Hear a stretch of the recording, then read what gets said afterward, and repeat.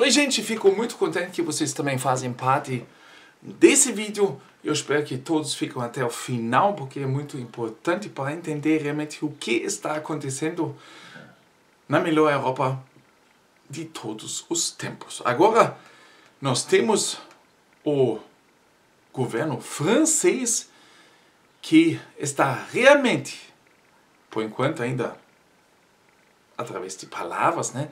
mas está realmente ameaçando expropriar, gente, a indústria de armamento. É, a esse ponto, cada dia que passa, nós temos novidades e a gente pensa, poxa, não pode ir mais adiante, né? Chega um limite até que não deveria mais ir. Mas, cada dia novamente nós temos, ou podemos ver, que as coisas estão ficando piores. E agora então, a ameaça do governo francês à indústria de armamentos francesa, gente. Vejam só a que ponto nós estamos indo. Num movimento de determinação sem precedentes, o ministro da Defesa francês, Sébastien eh, Lecornu, sugeriu a possibilidade de colocar a indústria de defesa do país sob controle estatal se a produção de equipamento de guerra não cumprir os requisitos, gente. Bam! Uau! O que, é que vocês pensam sobre essa atitude? O governo, o Estado querendo tomar conta, gente. Inacreditável. Como se ele pudesse fazer isso melhor. Né? A gente conhece empresas estatais, muitas vezes mostram que não são muito eficazes, né? mas nesse momento mostra a ameaça do governo em cima da indústria de armamento. E vocês sabem, primeiro eles vão falando depois, agora nós já chegamos nas ameaças. E depois eles vão tomando, né, gente? Cuidado ali. Expropriação é uma palavra que futuramente eu acredito que nós vamos ouvir mais vezes. Falei para vocês num dos outros vídeos que o Senado de Hamburgo também está querendo expropriar imóveis de donos que onde os imóveis estão vazios, eles querem tomar conta para ocupá-los. Logicamente, também eles vão pagar uma taxa para os proprietários, né? mas mostra que você, se tudo isso continuar desse jeito, cada vez menos você tem mais poder no seu próprio imóvel. A esse caminho nós estamos indo e aqui nós temos mais uma prova que agora então até a indústria de armamento está sendo ameaçado. Esse movimento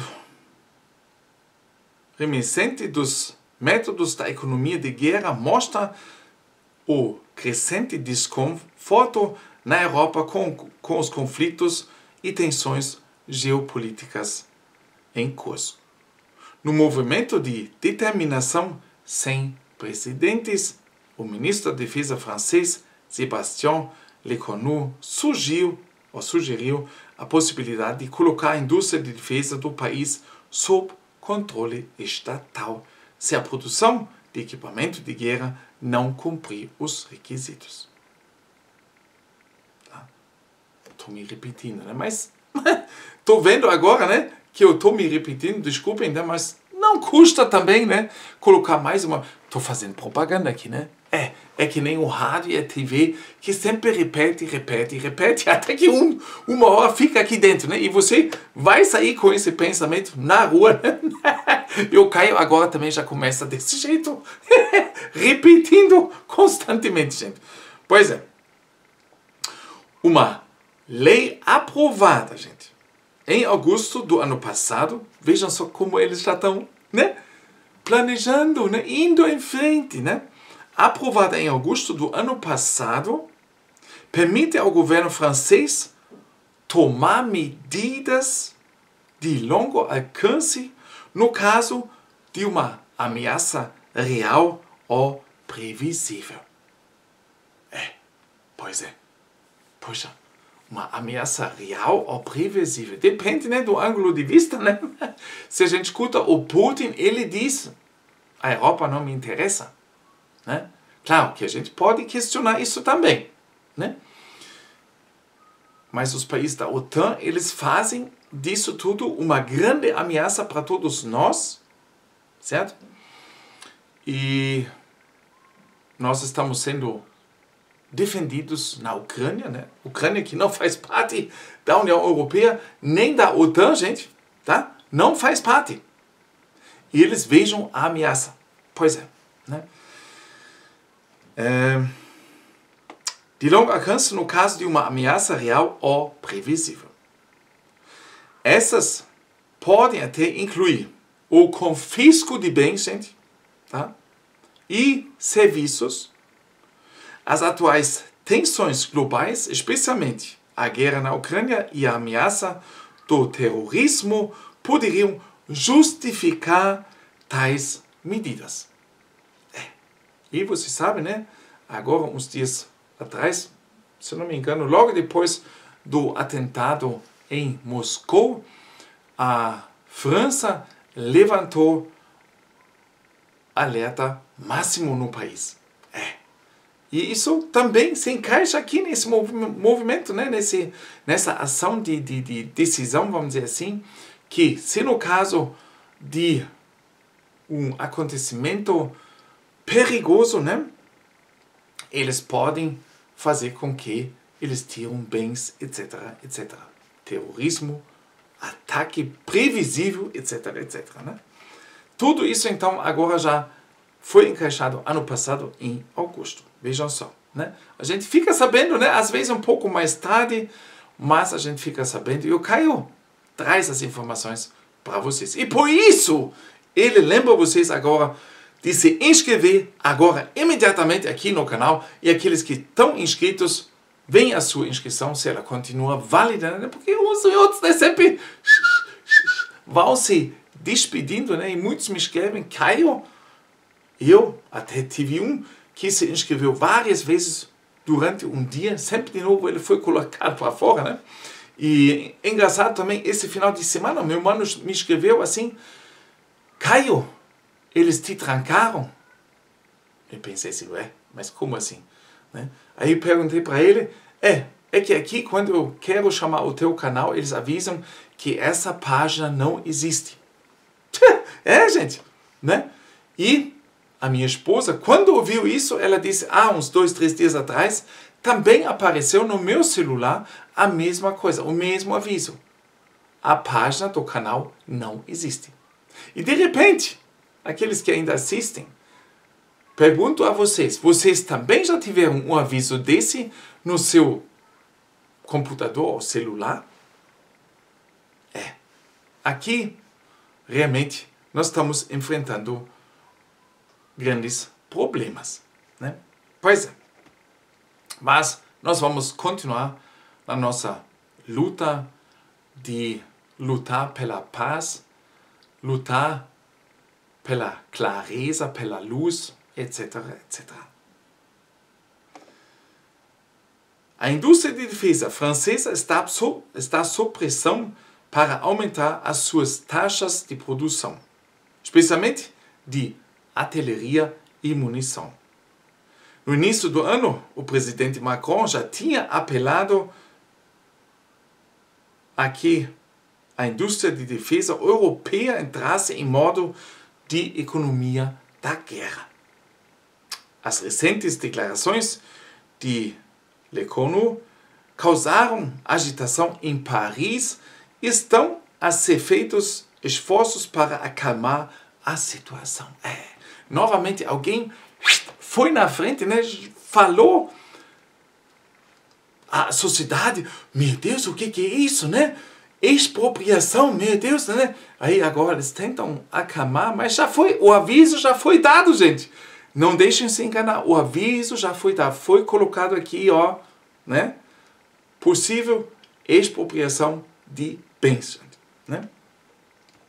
A França tem uma necessidade crescente de certos sistemas de armas, como os obuseiros César e os mísseis antiaéreos Asta, que são produzidos em conjunto com a Itália. Apesar de um pedido de 200 mísseis Asta para entregar até 2026, Leconu pressiona para entregar até o final de 2024. Como se pudesse simplesmente adiantar o, o, a entrega de dois anos. Adiantar dois anos, gente. Vocês têm que ver. Nós temos problemas nas cadeias de fornecimento, né?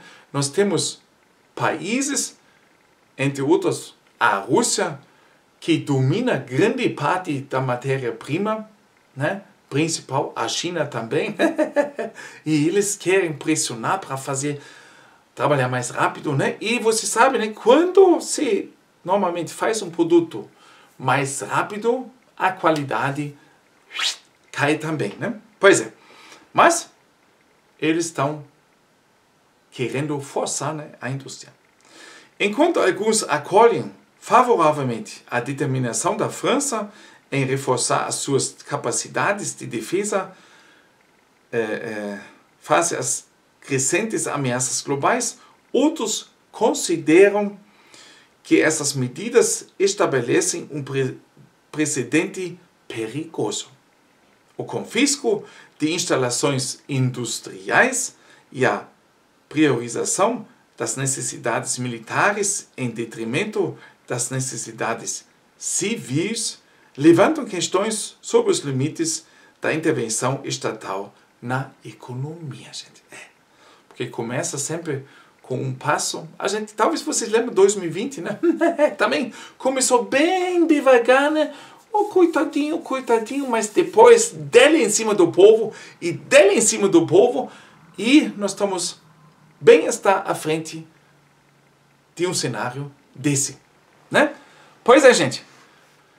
Mais notícias aqui no canal do Caio, da Alemanha, da Europa e do mundo nos nossos próximos vídeos. Até lá, desejo tudo de bom para todos vocês. Agradeço também pelo seu apoio financeiro através da sua inscrição no canal como membro, como também pelo Pix, né? E também por assistirem também a propaganda aqui no YouTube. Vocês sabem que o Caio também gasta muito do seu tempo valioso.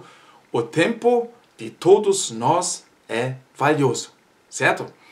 E a gente se tira um tempo, ninguém faz um trabalho sem ganhar remuneração. Não é verdade, gente? E nós estamos aqui para trazer muitas notícias para vocês e por isso eu posso também agradecer a todos vocês que sempre de novo ajudam ao canal, o Caio, né? Porque sempre de novo, agora, vocês sabem, estragou uma câmera.